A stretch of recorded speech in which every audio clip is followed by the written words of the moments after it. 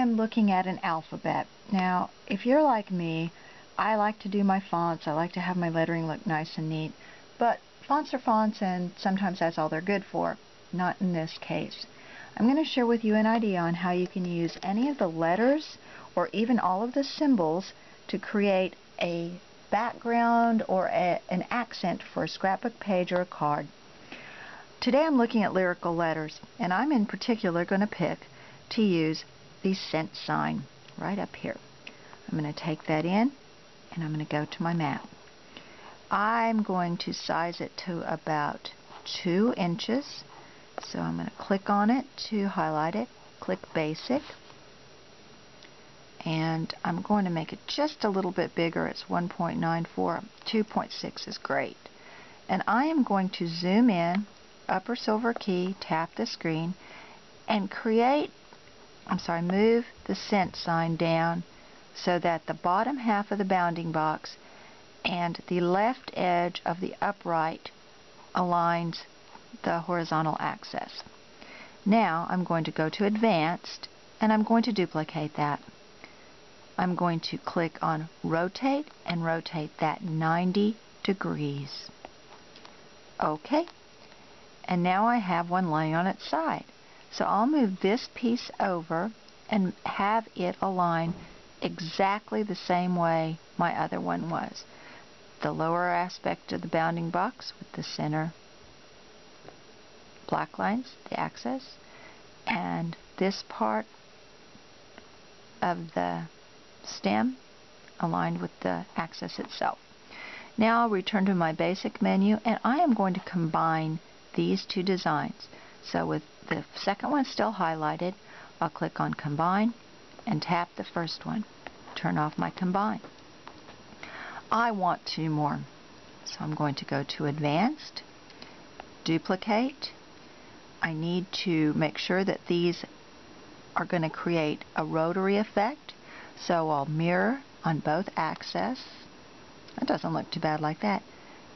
Select my last two and take it and align them. Now I have four. You can see where this is aligned on this axis, this on this axis.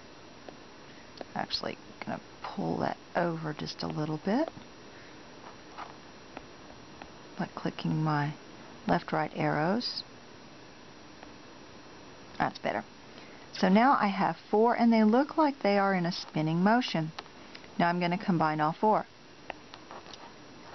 Go back to basic, hit combine, tap my second set, deselect.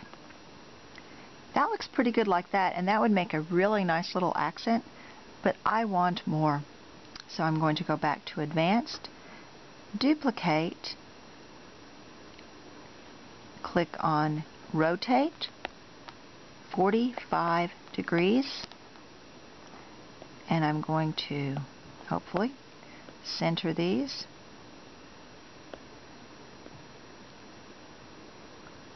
Over. My last. That looks about right. Click on combine. Carefully combine all my little parts to this. Sometimes you just have to play with it until they all turn blue. Deselect. Now I'm going to go to my advanced menu and I'm going to weld them.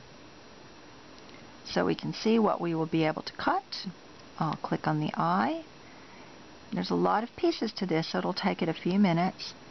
And if you see the red outline,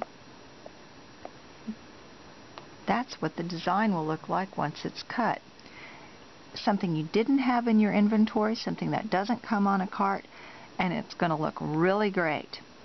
So there you have it, a quick accent that you can use to embellish a scrapbook, you can put on the front of a card, you can do just about anything with. I hope you take this to the nth, use up anything you can, maybe even make it personal by using someone's initial. Have a great day. I've enjoyed showing you this cute little trick with your gypsy. Take care until next time. Don't forget to sort the scraps to generate the gems. Bye.